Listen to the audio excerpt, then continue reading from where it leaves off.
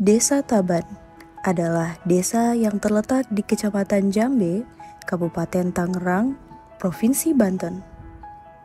Desa ini terbagi menjadi 23 rukun tetangga, 10 rukun warga, dan 3 dusun dengan mayoritas masyarakatnya bermata pencaharian sebagai petani dan wira swasta. Memiliki luas sekitar 880 hektar, menjadikan Desa Taban sebagai desa terluas di Kecamatan Jambe. Desa Taban dengan segala potensinya masih senantiasa mengalami pergerakan. Namun, di sini kami menemukan sejumlah permasalahan, terutama di bidang pendidikan dan lingkungan.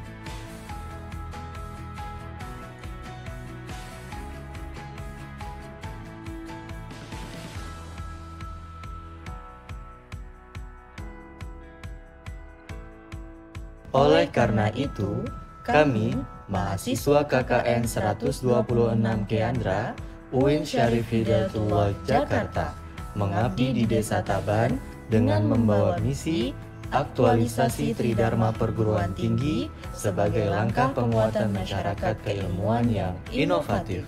So, welcome to Taban. This is our journey.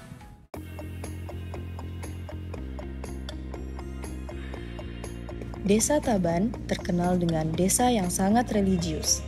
Hal ini terlihat dari banyaknya majelis taklim atau tempat masyarakat untuk melakukan pengajian Al-Quran, mulai dari anak-anak hingga dewasa. Selain itu, terdapat tradisi yang sudah melekat di masyarakat Taban, yaitu kegiatan santunan anak yatim untuk memperingati satu Muharram.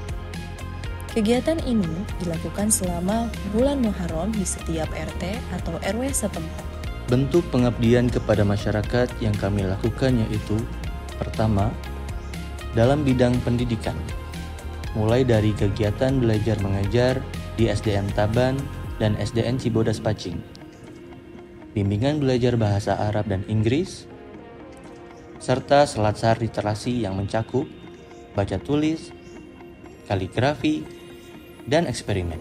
Kedua, dalam bidang keagamaan, mulai dari kegiatan mengajar ngaji di TPA setempat, santunan anak yatim piatu, dan pengajian rutin dengan warga sekitar. Ketiga, dalam bidang sosial kemasyarakatan, mulai dari pembukaan dan penutupan KKN di kantor Kecamatan Jambe, peringatan Hari Ulang Tahun Republik Indonesia yang ke-78, dan donasi kepada Masjid Al-Anfal. Keempat, dalam bidang lingkungan dan kesehatan, mulai dari pelatihan pengembangan inovasi hijau, kegiatan kerja bakti, senam sehat, dan kegiatan pembuatan tempat sampah. Sampah merupakan bahan sisa yang dihasilkan dari suatu kegiatan, baik skala industri, rumah tangga, dan instansi yang dilakukan oleh manusia. Sampah menjadi masalah aktual seiring dengan semakin meningkatnya tingkat pertumbuhan penduduk. Sampah yang tidak tertangani dengan baik akan menimbulkan kerusakan lingkungan, menimbulkan bau, serta berisiko menimbulkan penyakit. Perlu adanya pengelolaan sampah yang baik untuk menekan timbulnya pencemaran atau kerusakan lingkungan. Pengelolaan sampah merupakan sebuah kegiatan yang sistematis, menyeluruh, dan berkesinambungan yang meliputi pengurangan dan penanganan sampah. Pembuatan TPS atau tempat pembuangan sampah ini bertujuan untuk mengurangi dan menangani sampah di lingkungan sekitar. TPS dapat meningkatkan peran tempat pembuangan akhir atau TPA dalam mereduksi jumlah sampah. Pada prinsipnya, pembuatan TPS dilakukan untuk mengurangi beban sampah yang harus diolah secara langsung di TPA. Pembuatan TPS ini diharapkan dapat meningkatkan kesadaran dan kepedulian masyarakat terhadap lingkungan sekitar.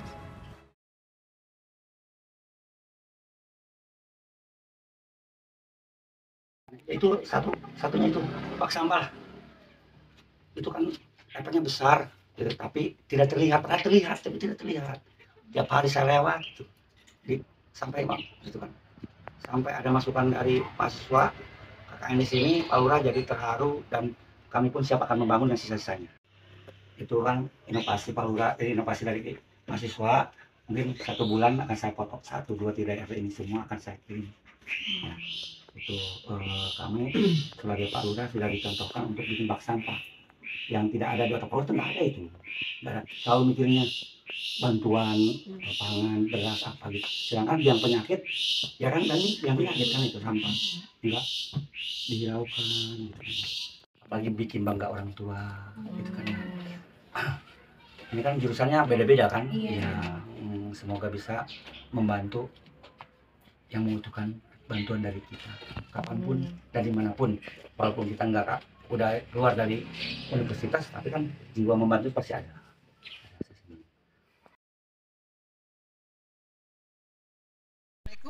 warahmatullahi wabarakatuh. Dengan adanya kegiatan KKN dari Universitas Islam Negeri Syarif Hidayatullah Jakarta, kami selaku guru SDN Cibodas Pacing, Kecamatan Jambe, Kabupaten Tangerang, merasa terbantu. Harapan kami, semoga mahasiswa yang melaksanakan kegiatan KKN eh, lebih eh, inovatif dan kreatif lagi. Terima kasih. Wassalamualaikum warahmatullahi wabarakatuh. Assalamualaikum warahmatullahi wabarakatuh. Alhamdulillah wassalatu wassalamu ala rasulillah amma ba'du. Pertama-tama yang saya hormati keseluruhan para mahasiswa mahasiswi dari UIN Ciputat Sarif Hidayatullah. Atas nama pribadi saya saya sangat merasa bangga sekali kedatangan mahasiswa mahasiswi ke kampung saya yaitu Desa Taban Tonggo. Yang pertama yaitu para mahasiswa sangat membantu khususnya bagi saya yaitu pas kedatangan ke sini dalam rangka mengaji anak-anak alhamdulillah saya sangat terbantu sekali itu pesan saya terus pesan saya itu dari kami ini terima kasih saya diberikan eh, tempat sampah ya. Mengacungkan jempol kepada mahasiswa mahasiswi. Ternyata yang kami pikirkan mahasiswa mahasiswi itu oh begitu begitu ternyata ngajinya boleh tuh ya. Terus ke situnya ibadahnya saya salut baik dari sembahyang dan mengaji dan lainnya. Itu saya mengacungkan jempol pesan saya. Sekarang pesan. Pesan saya kepada para mahasiswa mahasiswi. Pertama saya mendoakan mudah-mudahan yaitu menjadi orang yang sukses. Amin ya Allah ya Rabbal alamin. Baik mahasiswa baik mahasiswi itu supaya dihasilkan ilmu dan bermanfaat. Amin ya Allah ya Rabbal amin Halo, saya Sabrina Zulfatunisa. Pesan dan kesan yang saya dapatkan dari KKN di Desa Taban adalah pengalaman. Eh, Pengalaman yang sangat berharga dan mendalam bukan hanya tentang memberikan kontribusi kepada masyarakat, tetapi juga pertumbuhan pribadi, pengembangan keterampilan dan pemahaman yang mendalam tentang dunia di sekitar kita. Harapan saya semoga Desa Taban semakin maju dan ke depannya lebih baik lagi. Dan untuk teman-teman KKN Keandra, semoga sukses selalu dan semoga kita bisa bertemu di versi terbaik masing-masing. Begitu banyak pengalaman dan pelajaran berharga yang kami dapatkan.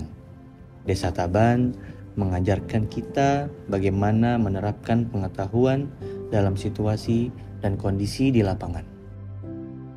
Semoga dengan program kuliah kerja nyata ini, kami termotivasi untuk terus berkontribusi pada masyarakat dan lingkungan di sekitar kita, baik dalam skala kecil maupun skala besar. Dan lalu